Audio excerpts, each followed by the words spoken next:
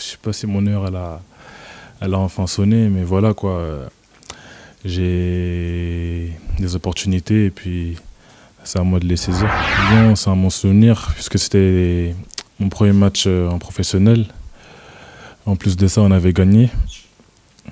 Après, voilà, ce match il est passé et il faut voir euh, devant. J'étais pas frustré. J'étais pas frustré.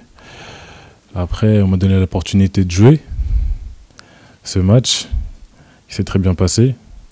Derrière, on m'a on m'a pas remis puisqu'il y avait, il y avait d'autres joueurs. Et je trouvais ça plutôt normal. Après, voilà quoi, j'ai fait un bon match. Et je sais que j'étais pas dans la, dans la hiérarchie, j'étais pas premier. Et puis je trouvais ça normal, j'ai dû, j'ai dû travailler, j'ai dû, j'ai dû attendre. Et puis c'est ce que j'ai fait. Par rapport au précédent coach, je trouve qu'on a plus de relations. Après, euh, après voilà, je suis pas le seul défenseur. Du coup, je dois, attendre et puis je dois bosser. On a discuté, il, m'a dit que si je faisais bien les choses, si j'étais patient et si, si, je travaillais bien, bah, il, y aurait, il y aurait eu des opportunités. Et ça a été le cas.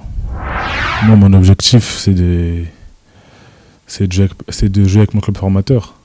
C'est le rêve de, toujours former dans, dans son club. Du coup, pourquoi partir quand, quand on sait qu'on qu'on peut, qu'on peut jouer avec les professionnels et s'il y a l'occasion?